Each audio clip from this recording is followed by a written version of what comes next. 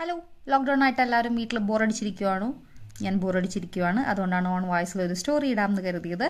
വേറെ ഒന്നുമല്ല ഇന്നലെ കീർത്തനയുടെ ഒരു എന്താണ് റീൽ കണ്ടിട്ട് ഞാനത് ഭയങ്കര അഡിക്റ്റായി കീർത്തന കീർത്തന പറഞ്ഞൊരു കാര്യമാണ്. ലൈക്ക് ഇതാകുമ്പോൾ ആരും കംപ്ലൈന്റ് പറയാൻ വരില്ലല്ലോ. ആരും കുറ്റം പറയാൻ വരില്ലല്ലോ. നമുക്കും ഒരു സന്തോഷം എന്നൊക്കെ വിചാരിച്ചു. അതുപോലെ തന്നെ ഞാനും അത് ഫോളോ ചെയ്ത് ഞാനും അങ്ങനെ ഒരു പാട്ടൊക്കെ പാടിയിട്ടു എനിക്കും ഭയങ്കര ഇഷ്ടമായി.